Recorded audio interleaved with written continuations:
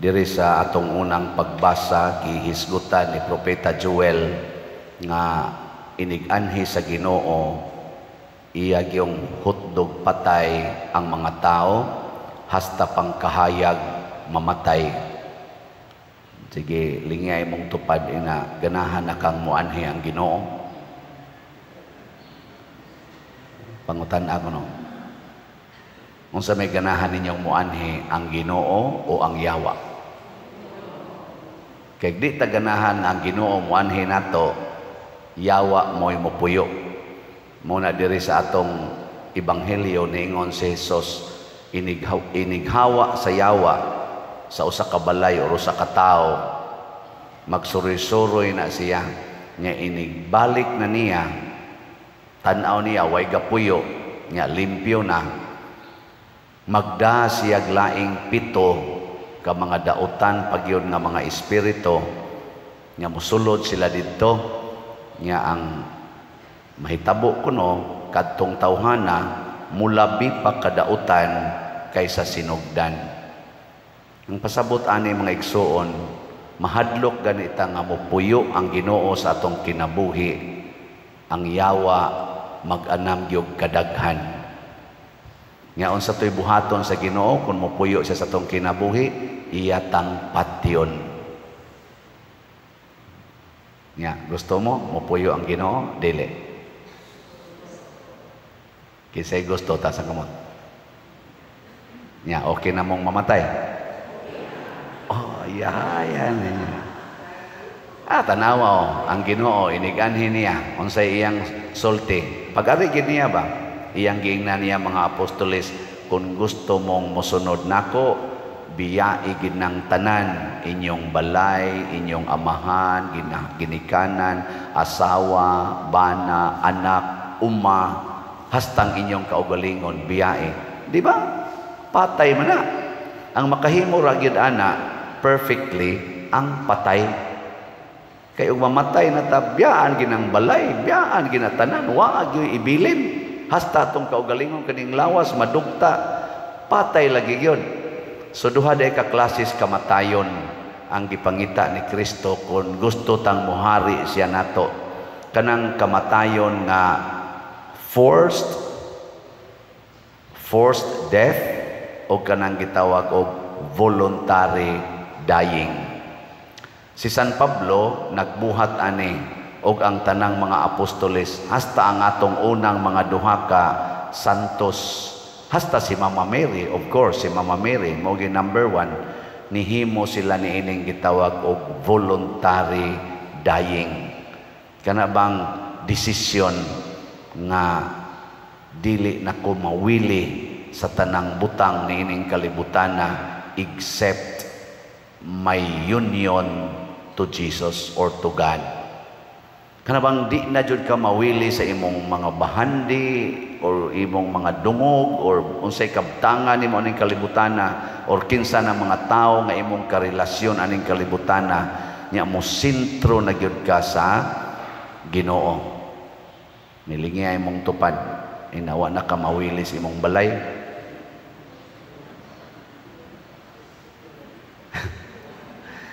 Sige, gani tag pamaligya dinig slat, wa man gani kayo namalit, nawili man gani mo anang tag 100 pesos, nawili mo anang tag 500,000, kamong na mga millions, pwede magin mo mo palit og 500,000 nga investment slot na to, kaning DSAP, di ba?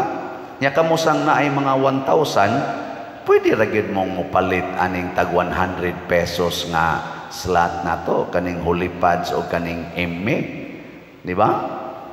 Di day pwede pwede. Basta na kay 1000 nya pila man kabuk nato karon dinhi online parishioners o territorial parishioners nga naay millions. Daghan oy. Daghan kayo. Oh, daghan. Naay millions. Mo na mangayo lang sa tag investment dili man ni nato. God ingon nga ato ning tangkyohon kaning investment slots. Na ini takes nako pader ikaw gyud ni o scammer. Siya nga no man ka nga murag di gini ikaw pader murag scammer gini so na kay muhatag og 25% per annum nga interest. Pang scammer man ni pader nako ako na ay ako gyud na. Kanang 25% per annum para ra na sa 140 slots 140 slots nga tag 500,000 per slot. Dili na perpetual aron makaskami kay kana mo scammer pareha atong ubang mga mga nihimo ato katong kapa ana perpetual man to. Kanang tigom gyud tao tigom og tao nya pagka pagkadako na gyud kayo sa kanang kwarta nga ning invest sibat dayon. Ah, ang pipila nakadawat pero daghan kaayo ang nalusno. Pero kaning ato, limited rin eh. 140 slots. As of yesterday, ang atong DSAP na anay pledges nga niabot na og equivalent to 67 slots. Oh, pakpak. Nya, pila naman lang ka slots ang available? 73 slots na lang. So, gusto mong mo invest, wala, first come, first serve mo aning 73. Dili ni siya ingon nga kutob yun, mahurot ang kalibutan. Dili ay. Nya inighuman ani, mas ma-raise na ni natong 140 ka slots nga equivalent to about 70 million. Ato dayong mabayaran ang yuta diha. Ma-clear na na, ato na nang ma-acquired, magtuko dayon taog kulumbari nga dako. Nga naay capacity nga mga more or less 14,800 ka anang units. Units pa ba? Kanang lungag ba? Nya gikan ani ato man ang ipamaligya fundraising gihapon ang profit ani anha nato kuhaon ang 25% per annum nga ipatong nato nining 140 ka slots plus pagyod sa atong mga projects sa Archdiocese o sa dinhis atong simbahan. So dako kayo na siya nga project nga fundraising. Unya, para asa man ni? Dili ni para pag-enrich sa simbahan. Dili ni pagtigom og kwarta aron pahimuslas mga pari og sa mga obispo. Kung dili pagtukod ni og mga struktura og mga centers for prayer. Sama sa atong giusas gipahinungdan ani ang diha sa garing konsolasyon nga pagatukoro nato nga divine mercy nga ni budget nag mga ang pagtukod lang sa imahin mga 158 million. Ato nang suwayag tukod. Niya dayon dinhi atong parokya ni apatay daghan dinhing mga developments nga himuon aron mahimo gining fully and beautifully operational sa atong mga pastoral nga mga paningkamot pag-administer. Mugasto panig mga doldool tingali mga 200 million kun ato yung tinud-o ni gasto Dako pa kay ni. Sunan mo anang dagkuan ng kantidara. Nya ato ning gitan-aw gi-budget na ni nato nga makuha ni diha sa Kulumbari kun mahalin pud ang tanan. Ana. So mao ni gitawag og fundraising, mo raise tag funds.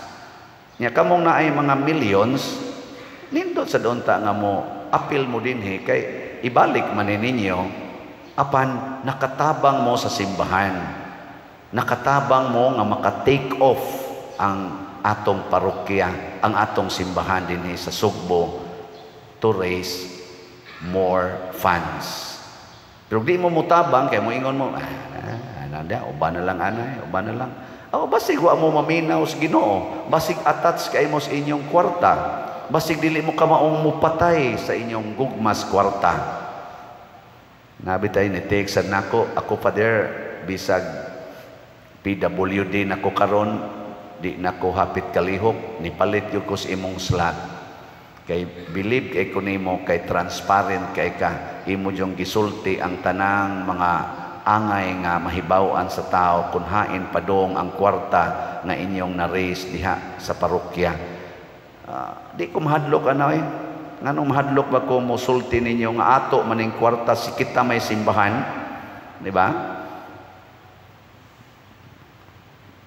Uy. Mura lagi mo malipay. Di mo malipay nga isulti na ko din hitanan. Nakibaw mo, giunsa na to paggasto, giunsa paghurot ang kwarta, gidapat sa simbahan. Gusto gyud mo detalyado kay summarize naman itong pagsulti din eh. Adtuan ninyong atong finance council. Adtuan ninyo sa opisina na nay complete record sa accounting. Hain gina mo padong ang katapusang sintabo sa ato dinhing nakulikta sa gikan anang inyong ihog sa kulikta kanang na ang mga pamisas kasa ang mga sakramento kining ato mga donations hain ni padong gilista gina didto uh, mao na ngano man tungod kay wa ta dinhi magnegosyo ang negosyo di man na mosultig pila ilang profit in details. Ang mga employers di man na mosulti kay hadlok man sila strikean sa mga workers. Ug naman na sila isulti gipadingan na na gibutangan na nag mga depensa. Aron dili kayo dili kayo maka-ignite ba og eh, moingon din ah, injustice man eh. Ana so ila man sana business man na nila. Kaning ato di man ni business. Unsa man ni? Fundraising. Ug mahumanan ni nato grace manghunong ta. Ako, ako gani unahuna nako inighuman ako grace aning maong funds na magpuyo ko dito sa kahugan nga ako rang usay mo retire nako sa akong pagkapari. Kay mudagan man ig mga 5 years siguro ning kumbate ani. Iguman ani ana mo retire na ko sa pagkapari aron dili nako assignan aning pag-raise race og funds di nako maproblema aning kuan kay anad biya in taon kung maglakaw magsuga lag kandila magkaon lag luy ag asin nga wa gyud wa gyud tay hunahunaon ba kanil karon din ni dekuan ning gihunahunay pero wa jud ko mga pressured ngano man simbahan man eh. Dili man eh ako personal sa simbahan man eh. Ako ra may nag-manage ani. Muna, salamat kaayo kaya nga to sang Holy Pads, ang Holiness, Peace, and Divine Salvation para ni sa atong National Retreat of Priests karong November 7 to 9 as of yesterday. Ang atong total nga halin ning abot na og combine na ni sa ato sang ACCRs nga kay kani manggod ang nagpadagan gid ani ang atong mga charismatic associations panguluhan sa ato dinhing kana ganing parishioner no si Sister Faye Barino together sa Council of the Leyte sila gid ani mo naghandol og mga charismatic communities nya nag-raise po sila dito funds in their own way. Kita din his slots. Ang ila dito, wako kibaw giyon sa nila pag-raise ilang fans. Pero ni-report sila din in the form of slots. Pasabot, ang na-raise nilang kwarta, gi-convert nila into atong slots nga tag 100 per slot. So ang atong na-raise din sa atong online o sa territorial parishioners, 49,393 niya ang ilasang na-raise dito nga na-report na to gahapon niabot sad og 11,611 slots at total of 61,004 slots. Oh, pakpak. Nantana, nikalit lag kajutay ang ato na lang remaining slots karon kay sa Holy Pads 38,996 na lang. O gusto mo maka-appeal ani aron ma-bless pod mo aning panahon sa retreat sa 3,000 ka mga pari ala pamalit na mo. Nya sa ato sang MMEG para ni sa atong pista ugma nga karon last day na maron tos nobina nahalina na pud ta og 13,837 slots 6,163 slots na lang ang nahibilin So, gusto mong maka-appeal pa ni 6,000 na ba ni karon ra ni kutob. So, dali-dali na lang sad mong pamalit, di ba? Nangatog na mahino mo diha nga papalito noon mo mga tug na noon. ing na imong tupad ina nakaapil nakagpamalit og slot. Sige ka na we. Now na tag mulingi ba mo. Sige na ligi o niya sa atong 30 slot challenge na natay 577 ka 30 slot challenge. Nining tanan atong hatagag masipang pakpak ang nangapil. Salamat sad. Salamat sad sa Ginoo niya karong adlaw himuo nato ang atong foot procession para pag-ending sa atong pagsaulog sa mga nobinaryo nga ugmang adlaw ang atong kapistahan. Ang mahal nga birhen nagpakita sa iyag yung pag-alima nato kagabi malampuson kaayo ang atong grand motorcade. Grabe ang participation sa, sa atong mga chapels o mga organisations sessions nga imbis nga naas pag-asa nga wanonon gyud kay gahapon wa giuwan. Nya karon sa kuno ugma og sa domingo kusog sa kuno ang uwan. Ato na lang isalig sa mahal nga birhen. Og muuwan iyang pagbuot nga mga ligo kita maligo tang malinahon og malipayon. Nya kon pananglitan sa giyatang kay nindot magyud mag-celebrate nga way uwan Nindot magina hibaw na masad ang Berhin ana, nahibaw na sad si San Vicente Ferrer, nahibaw na sad ang Ginoo nga mas nindot yog maghimo tag prosesyon nga way uwan ug ilas ang ihatag. Ah, di na ta mo question ana, ihatag gina sa Berhin. Why? Imposible niya, di ba? Pero dawat kita unsay ihatag. Dili ta mingon, wa may imposible ni mo Lord, ay gyud pauwan na. Yung Ginoo adi na na. Kamo na gadiktar nako why imposible nako pero ako'y magbuot? Ana na siya ang kinaiya sa mahal nga birhen. Mo na diri sa atong ebanghelyo ningon si Jesus nganong inyo manggipasanginlan nga si Beelzebul? Mo'y naghatag nako gahom. Ang gahatag nako gahom mao ang Ginoo. Maong nakapapahawa ko giyawa pero ako'y magbuot kung ako ba mong pakitaon nga gipapahawa nako ang yawa nagmilagro ba ko or ako bang ialaw nga kamo magantos? Apan kinsa may tinuod nga magantos? Ang gipuy-an og yawa. Kinsa may gipuy ag yawa? Kadtong mahadlok mosunod sa sugo sa Ginoo nga nag-ingon biya gyud ang tanan. Pagpakamatay diha sa imong mga sala kay kani manggong sala mga igsoon mao man ang attachments to this life to this world. Kana bang mawili ta aning kinabuhian? Kana bang magsige tag ingon nga ayaw sa ayaw sa. Okay na kag mamatay ah, not now not now. Hibaw mo jud kung naa mamatay magita not now. Kana mo ginay number one na masudlan kag sala. Anha gyud ka diha makuha sa yawa. Not now. Nya lingi ang katapusan imong tupad ika sugot ka now na. Ingna kano ina sugot ka now na. Kay mao man ginay ato ang kawili man ingno nato kamo gapuyo-puyo mamo pagbuwag lang kuno mo aay lang sa pader not now. Di pa ko ready. Nangabit man gyud ka biyae kuno na imong kabit. Ah pader not now Sige man kag suyok, biyain na imong suyok, kana imong sugal, biyain na, ah, naam din akong nahuna pa dir nangilad gini pero ayaw usa karon. Ana. Di ba? Hunungan na na kay ang kamatayon moabot nato bisan unsang orasan. Muna usahay naguulta nga nasakit og kanser ang atong lawas pero minus kaayo ang naguol nga nasakit og kanser ang iyang kalag. Dunay mortal sin ang iyang kalag. Nga na kanang magmisa ko og kana mga patay. Mingon dayon ang sakristan, porti maning tao padir. Pila ka buok ato aning kana ganing i-consecrate.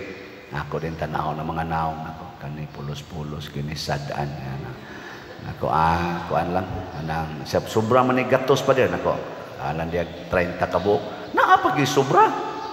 30 kabuk ang i-consecrate niya gatos kapin ang mga tao mo abot pagig 200 kay perti gyud daghana. Di manuol eh. Na nagtutok lang eh. Nga ngano man di ami diri kay mo duyok mi sa kasubo sa namatyan. Pero way nasubo sa nakasala. Naghilak mi kay namatay ang among anak pero ang among pagpuyo-puyo ang among pag way kasal wa mi manghilak niini ang amo rang gihilakan nganong namatay ning among anak nga bata pa kaayo. Pero ang among pagpuyo nga sudas pila ka tuig wa mi kasal wa mi maguol. Hilaki ninyo ang inyong mga sala matod pa ni propeta Joel pag minatay kamo tungod sa inyong kalapasan sa Ginoo gisia ang inyong kasing-kasing dili ang inyong mga biste Muna mensahe ni Propeta Joel. Nindog na ta.